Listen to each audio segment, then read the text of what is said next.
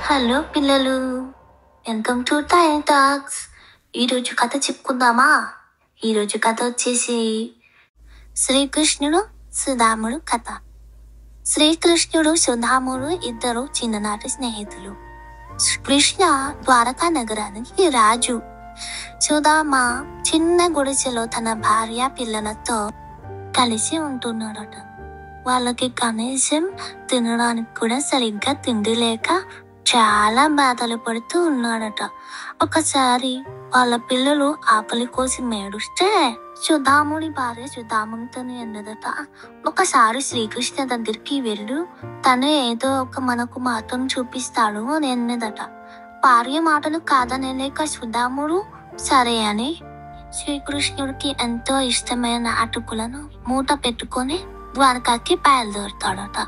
దారిలో సుధాముడు అనుకుంటాడట ఎప్పుడో చిన్నప్పుడు కలిసి ఆడుకున్నాము ఇప్పుడు నన్ను చూస్తే గుర్తుపడతాడో లేడు అని అనుకుంటూ వెళ్తాడట.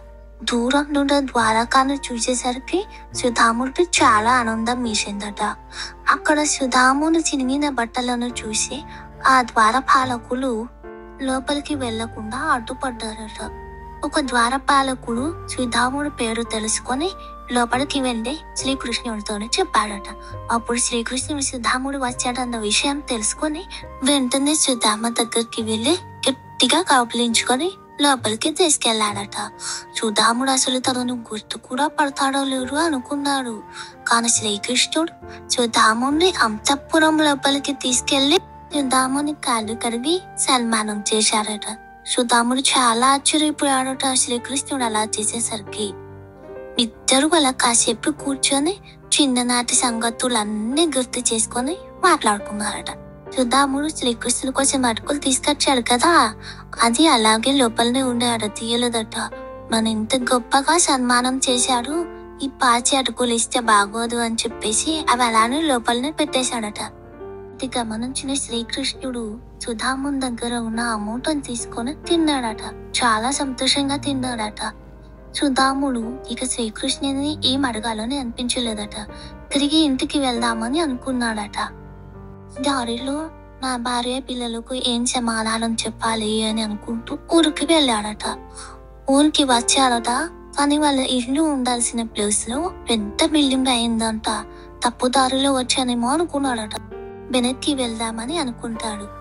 ఇంతలో వాళ్ళ భార్య పిల్లలు వంటి నిండా నగలతో కొత్త బట్టలతో ఇంట్లోంచి బయటకు రావడం చూస్తాడట.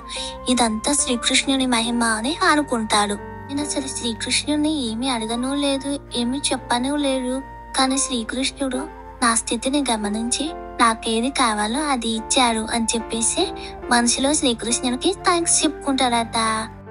పిల్లలు ఈ కథ వల్ల మనకు తెలిసిన నీతి ఏంటి? నీ దగ్గర సంపద చూడకుండా నిన్ను నిన్నగా ఇష్టపడేవారా నిజమైన స్నేహితులు ఓకేనా పిల్లలు thank you for watching and don't forget to hit the like share and subscribe button for more videos